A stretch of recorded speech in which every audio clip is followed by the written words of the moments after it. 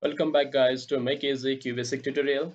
In this video I will be explaining how to reverse the given string in QBasic. First of all I will show you the program and the output of the program and then I will show you the step-by-step -step process. So watch till the end and understand the program. Okay this is the simple program to reverse the given string. What is reverse? I will show you with the example. Okay. So now you can see it is asking for this string so you can enter anything your choice. Let me enter Nepal. So the string and the reverse of a string is LAPEN. What is this? From the last LAPEN. This is the reverse of the string. So you can enter the different string with multiple characters.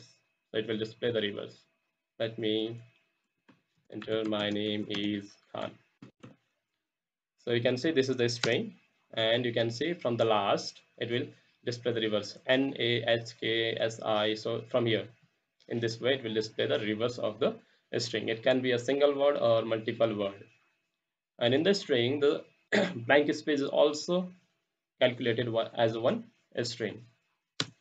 Okay now let me enter one more.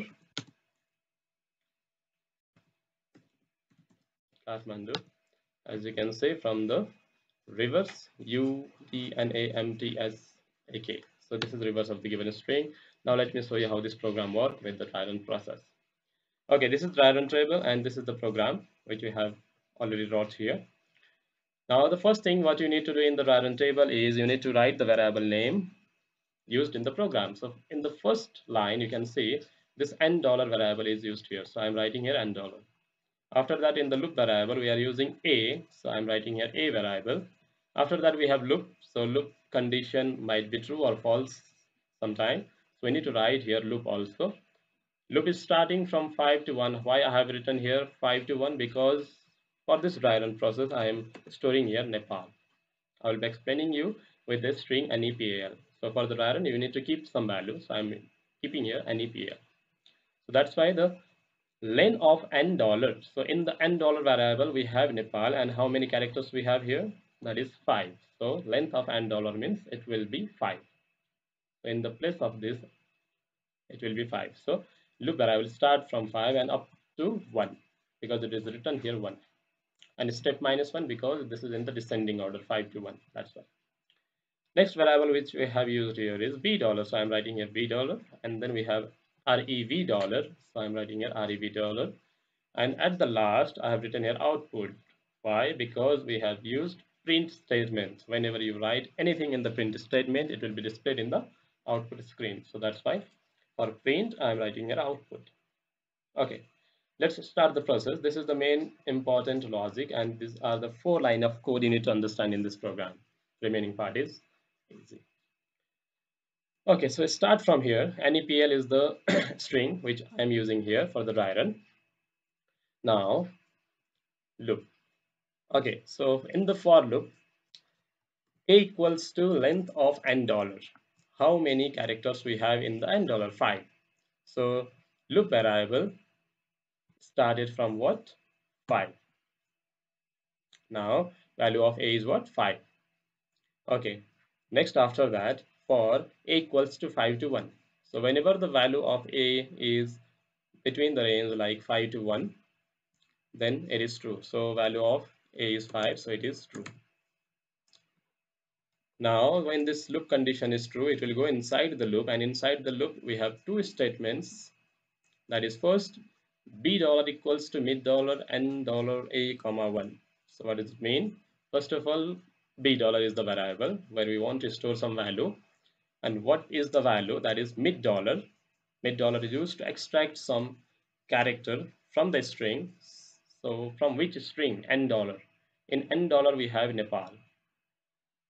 From A that means starting from fifth position. That's this A means starting from fifth position. This one means only one character. So from here starting from fifth position. This n is in the first position e is in the second position p is in the third position a is in the fourth position l is in the fifth position. So from fifth position only one character that means L. So we are storing that in B dollar. So L. Okay after that rip dollar equals to rip dollar plus B dollar. In the rip dollar which what is the variable we have? Nothing. What is the value? No. So that means we need to add b dollar here so that is l. We don't have anything in rev dollar so rev dollar plus b dollar is l.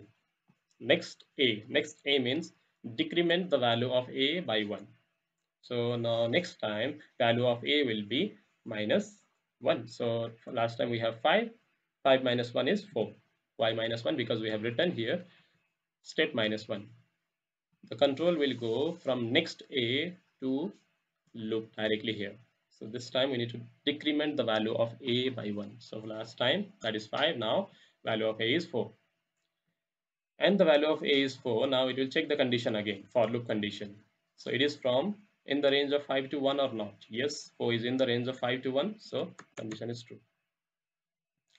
Then after that when condition true it will go inside the loop because we use loop to repeatedly execute the same statement again and again so first line again b dollar equals to mid dollar a comma 1 now this time value of a is 4 from fourth position only one character.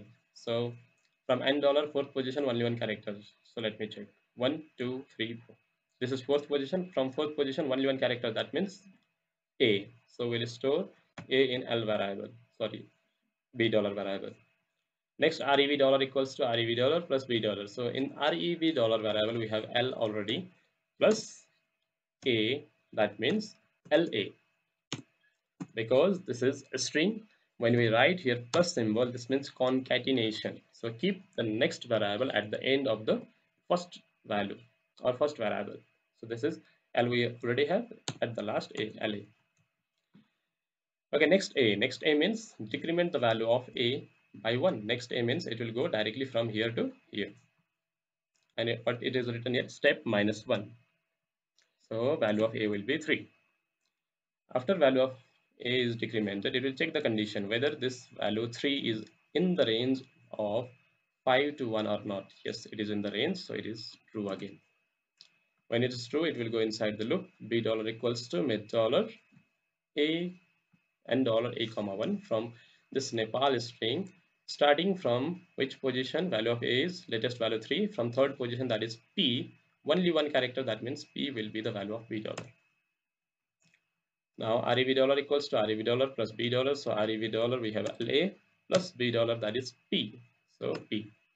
So la plus p as a string is lap next a next a means it will go back to the loop. Step minus 1 so value of a will be 2 now mid dollar n dollar from which position? A that means second position. How many characters? That is one. So from second position only one character that means e. So this loop is again true because this is in the range. And from second position only one character that means e. And then rev dollar equals to rev dollar plus b dollar that is lap plus e that is lape now next a. Next a means decrement the value of a by 1 because it is written here step minus 1 so this will be 1 and when the value of a is 1 it will check the condition whether it is in the range of 5 to 1 or not. Yes it is in the range. 1 is also in the range so true. Now b dollar equals to mid dollar n dollar from n dollar string from here starting from a. That means first position. So first position is n.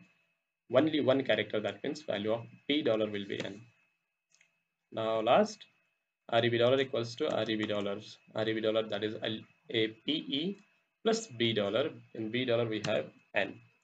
So what is the value of REB dollar now? LAPEN. Now value of REB dollar equals to LAPEN. Now next A. Next A means it will go directly here. Step minus 1. Now 1 minus 1 will be 0 then it will check the condition whether this 0 is in the range of 5 to 1 no false. And then after false condition it will go directly just after the next a statement that is print statement. Print statement means output. So in the output you need to write this as it is. Reverse string is because that is written in this double quotation. Reverse string is and then value of rev dollar that is L A P E N. So this is the final output. Reverse string is lapen and then after that end of the statement that means program terminated. Hope you understand this concept. This is the dry run table of this reverse of the given number. You can try by using different string and it will give the correct result. Thank you for watching. If you have any confusion and questions you can comment it below. Have a great day and see you in the next video